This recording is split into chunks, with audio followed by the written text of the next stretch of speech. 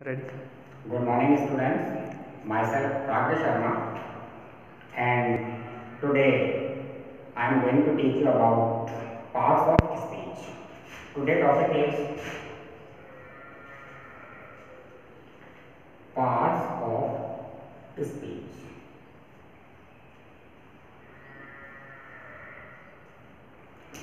Parts of speech क्या होता है कि पार्ट्स ऑफ़ स्पीच छोटे से रूप में देखें तो एक सेंटेंस एक वाक्य, उस वाक्य में विभिन्न प्रकार के शब्द होते हैं। मतलब एक वाक्य जो अलग अलग प्रकार के शब्दों से मिलकर के बना होता है। तो उस वाक्य में आए हुए जो अलग अलग प्रकार के शब्द होते हैं, उन शब्दों को किसी ना किसी नाम से जाना जाता है। तो एक वाक्य में आए हुए जो अलग अलग शब्द हैं, उन शब्दों को एक अलग नाम देने की जो प्रक्रिया है वो प्रक्रिया ही कहलाती है पार्ट्स ऑफ़ स्पीच कोई भी एक छोटा सा, बड़ा सा, कैसा भी एक सेंटेंस लिया उस सेंटेंस में जो अलग अलग प्रकार के वाक्य आते हैं, शब्द आते हैं, उन शब्दों को अपन किस नाम से जानते हैं, उन शब्दों को क्या नाम दिया जाता है, वही चीज़ जो है, वही प्रक्रिया जो है, वो कहलाती है पार्ट्स ऑफ़ स्पीच अगर डेफिनेशन की बात करें कि पार्ट्स ऑफ़ स्पीच डेफिनेशन क्या होती है? तो डेफिनेशन देखें parts of speech words are divided into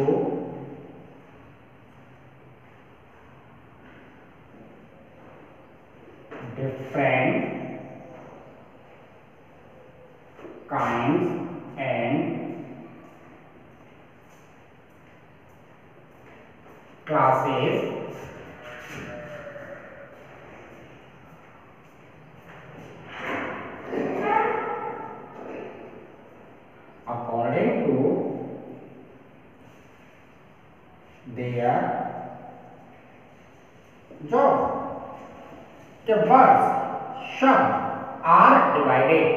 विभाजित किए जाते हैं into different kinds and classes different kinds and classes अलग अलग प्रकार के अलग अलग वर्गों में।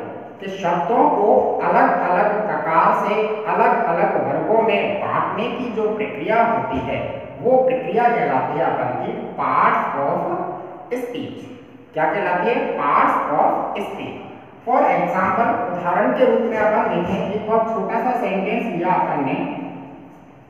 Ram is a good boy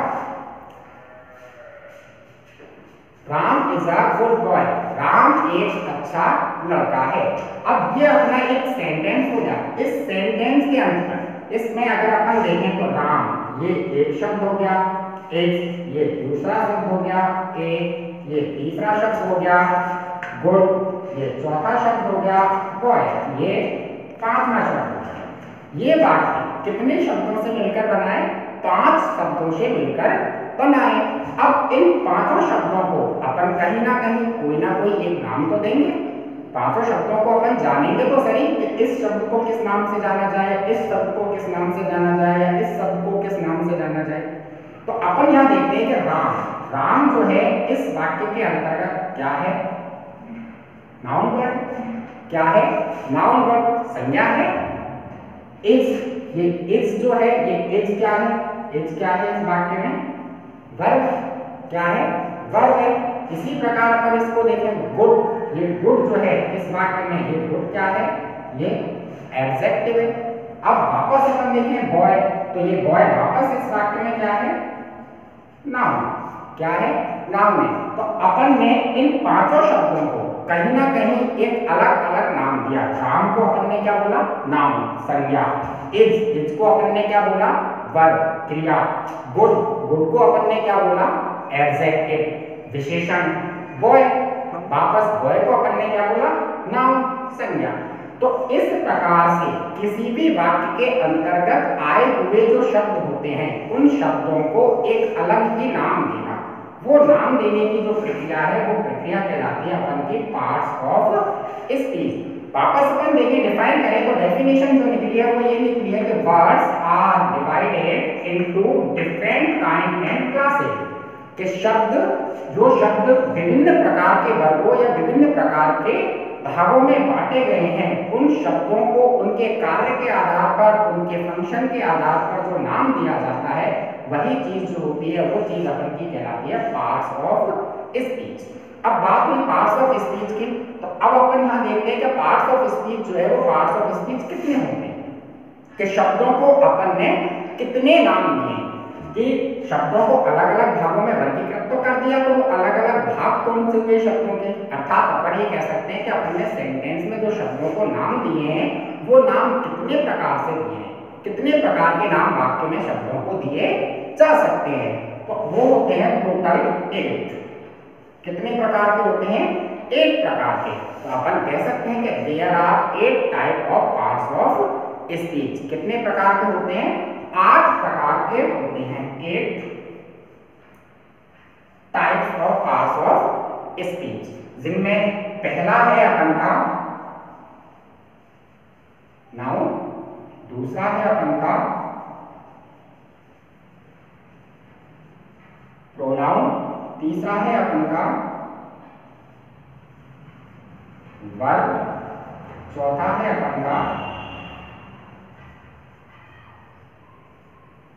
adjective पांचवा है अपन का एडवर्ब छठा है अपन का कंजंक्शन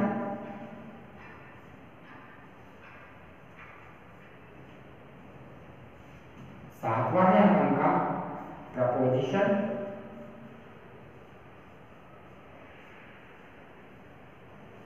और आठवां है अपन का इंटरजेक्शन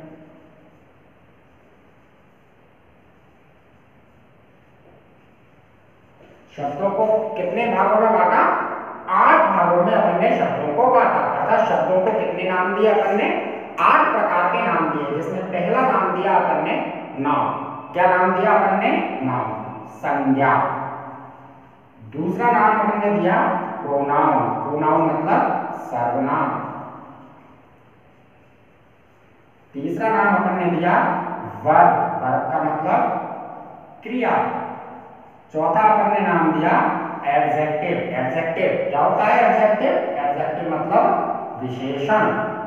क्या हुआ? विशेषण। पांचवा अपन ने नाम दिया एडवर्ब क्या? एडवर्ब एडवर्ब का मतलब क्या हुआ अपन का? एडवर्ब का मतलब हुआ अपन का क्रिया विशेषण। क्या होगा क्रिया विशेषण। छठा नाम अपन ने दिया कंजक्शन कंजक्शन को सामान्य रूप में अपन ने क्या नाम दिया? अपन ने नाम दिया संयोजक। संयोजक मतलब जोड़ने वाला। संयोजक का मतलब क्या हुआ? जोड़ने वाला। संयोजक। और सातवा हुआ अपन का प्रपोजिशन। प्रपोजिशन। प्रपोजिशन का मतलब क्या हुआ? समुच्च बोधक आठवा हुआ अपन का इंटरजेक्शन इंटरजेक्शन मतलब विस्मय बोधक। क्या हुआ? विस्मय बोधक। आगे बात समझ में? कि इस प्रकार से अपन ने शब्दों को आठ नाम दिए, जो इस प्रकार से noun pronoun verb adjective adverb conjunction preposition interjection ठीक? अब अपन स्टार्ट करते हैं पहला टॉपिक नाउन कि नाउन क्या होता है? संज्ञा क्या होती है? ठीक है? तो आप थोड़ा सा संज्ञा के बारे में पढ़ते हैं। ठीक है? तो आज अपन पहला पार्ट ऑफ़ स्पीच देखते हैं, जो है अपन का नाम। क्या है? नाम। संज्ञा। अब बात आती है संज्ञा। संज्ञा किसे कहते हैं? अपन ने शुरू से पढ़ा हुआ है फोर्थ फिफ्थ सिक्स स्टैंडर्ड में अपन ने काफ़ी ज़्यादा स्टडी की इसके बारे में। कि संज्ञा क्या होती है? किसी भी व्यक्ति, वस्तु, गुण, धर्म, दोष, जाति। आदि। इनके नामों को अपन क्या कहते हैं? संज्ञा कहते हैं कि किसी भी व्यक्ति का नाम ले लो, किसी भी वस्तु का नाम ले लो, किसी भी जानवर का नाम ले लो, किसी भी जाति का नाम ले लो, किसी भी गुण का नाम ले लो क्वालिटी स्टेट पोजीशन इनका नाम ले लो। ये सारी चीज़ें जो होती हैं, इनको अपन जिस नाम से जानते हैं, वो चीज़ क्या कहलाती है अपन की? संज्ञा कहलाती है। डेफिनेशन बात करेंगे डेफिनेशन कि नाउन क्या है? Noun is a name of a person, place, thing,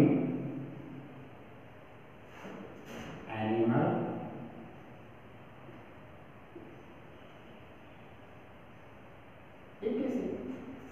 क्या है noun is a name of a person noun संज्ञा क्या है? संज्ञा नाम है।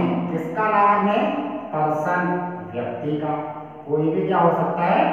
व्यक्ति हो सकता है। प्लेस क्या हो सकता है? स्थान हो सकता है। थिंग क्या हो सकता है? कोई भी एक वस्तु हो सकती है। एनिमल कोई भी क्या हो सकता है? जानवर हो सकता है। ईटीसी अब इस ईटीसी में क्या होता है? इस ईटीसी में एक्सेट्रा एक्सेट्रा का मतलब और चीज़ें क्या हो सकती हैं? फीलिंग फीलिंग का मतलब भावनाएँ. क्या हो सकती हैं? भावनाएँ. आइडिया विचार. क्या हो सकते हैं? विचार हो सकते हैं. कि संज्ञा क्या हुई क्या हुई संज्ञा किसी भी व्यक्ति, वस्तु, जानवर स्थान भावना या विचार, इसको अपन जिस नाम से जानेंगे, वो नाम क्या होगा अपना? वो नाम होगा अपन का संज्ञा। क्या कहलाएगा? नाम संज्ञा कहलाएगा। जैसे अब अपन किसी भी एक नाम को देखें। अपन ने एक नाम लिया राम। क्या नाम ले लिया? राम। कहीं ना कहीं अपन एक नाम से जान रहे संज्ञा हो गया। अपन ने यहाँ दूसरा नाम ले लिया। सीता। सीता भी क्या है? व्यक्ति का नाम है। ये हो गया संज्ञा। प्लेस प्लेस की बात करें अपन, गंगापुर। प्लेस की बात हुई अपनी, गंगापुर सिटी अपन ने बोल दिया जयपुर। ये क्या हो ये किसी जगह के, किसी स्थान के नाम हो गए। ये भी संज्ञा हो गई। वस्तु की बात करें तो वस्तु में अपन ले लिया पेन वस्तु में अपन ले लें टेबल वस्तु में अपन ले लें बुक बहुत सारी चीज़ें हैं। किसी को भी ले सकते हैं। ये किसी वस्तु को दर्शाते हैं। तो ये क्या हो गए संज्ञा एनिमल जानवर की बात करें। डॉग एलिफेंट लॉयन जानवर है। जानवर के नाम है, इसलिए क्या हो गए संज्ञा हो गए अब फीलिंग फीलिंग की बात करें भावनाओं की बात करें। जैसे सैडनेस दुखी अवस्था। क्या है? सैडनेस दुख की अवस्था। भाव नहीं है? हैप्पीनेस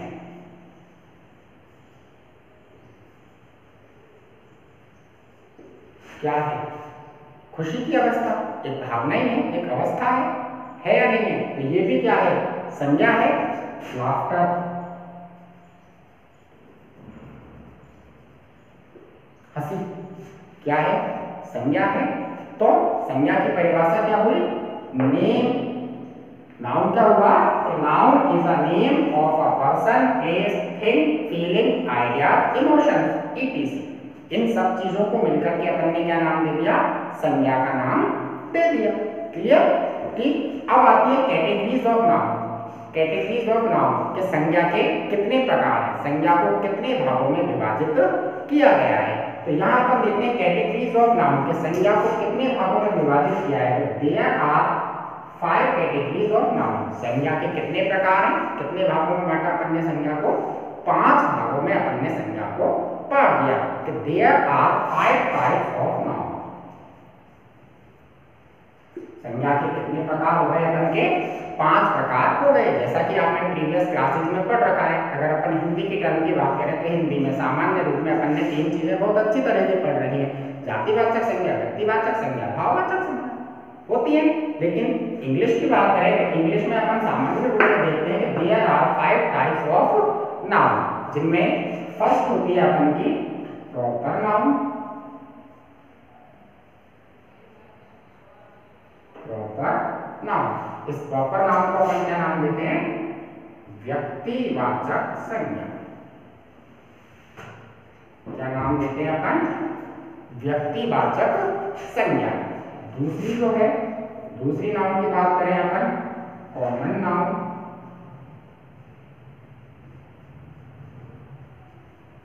कॉमन नाउन क्या हुई? कॉमन कॉमन मतलब जातिवाचक संज्ञा ठीक तीसरी तीसरी हुई अपन की collective noun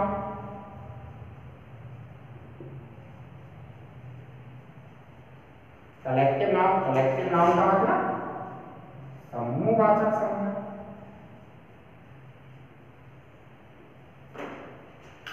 चौथी material noun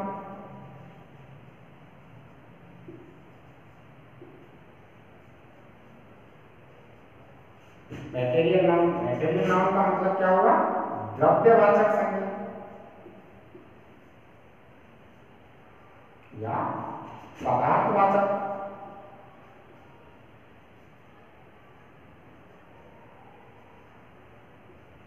ठीक? और पांचवी हुई अपन की अबस्ट्रैक्ट नाउन